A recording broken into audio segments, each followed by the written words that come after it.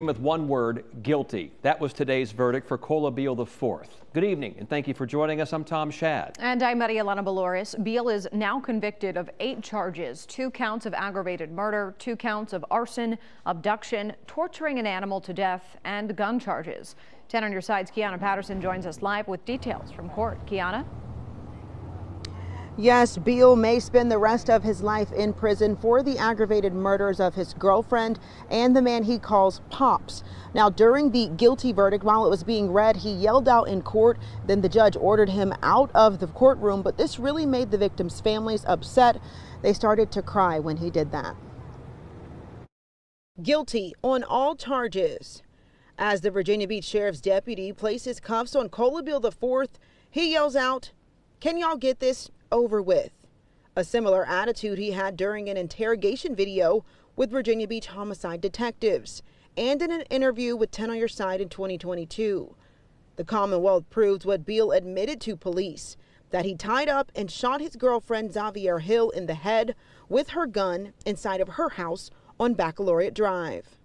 Ring camera video shows he invited friends over to take items from her house before killing the Vietnam veteran who helped raise him.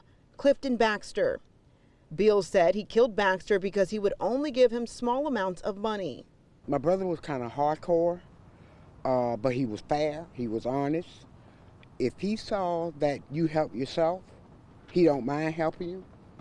But Mr. Beale won't work and won't trying to find a job.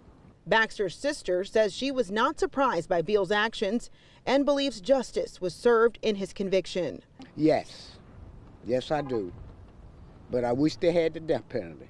The Commonwealth also shows the gruesome pictures of Hill's home after Bill set it on fire with gasoline, with her body and dog still inside. The photos were hard for her family to look at.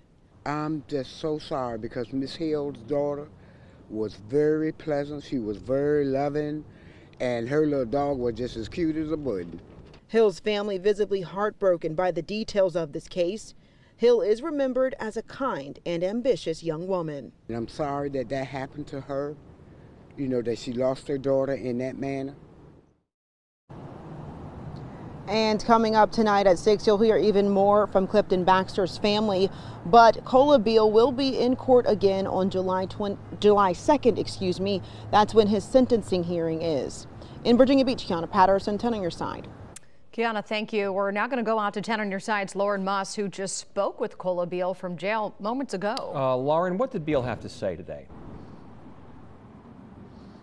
Well, the last time we talked to Cola Beale the fourth, he said he didn't regret anything. Now, he says he has remorse. Beale was found guilty today for murdering his girlfriend and father figure in Virginia Beach in 2022. After he was arrested by the U.S. Marshals in 2022, Beale told us he had no remorse. He told me today he has since come out of what he calls a blackout and a trance and now feels remorse for his actions.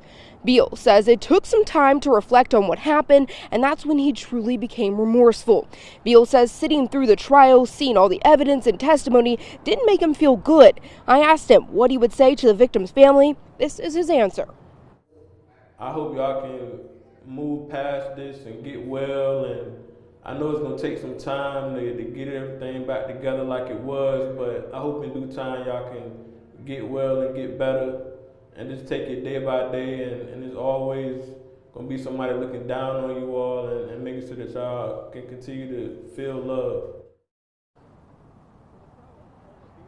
You heard Arkiana Patterson talk about what he shouted after the verdict. He said, Can y'all get this expletive over? He explains that moment and his thoughts after the verdict coming up at 6. In Virginia Beach, I'm Lauren Moss, 10 on your side.